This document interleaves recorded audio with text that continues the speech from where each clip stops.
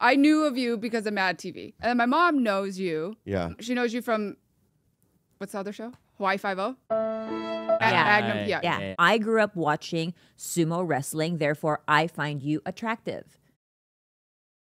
What about if I do this? I was at an ATM with Ari Shaffir. The guy that was behind us to use the ATM, mm-hmm. we turn around and he goes, Oh my God, I'm such a fucking huge fan. And I gave him a hug and he goes, Not you.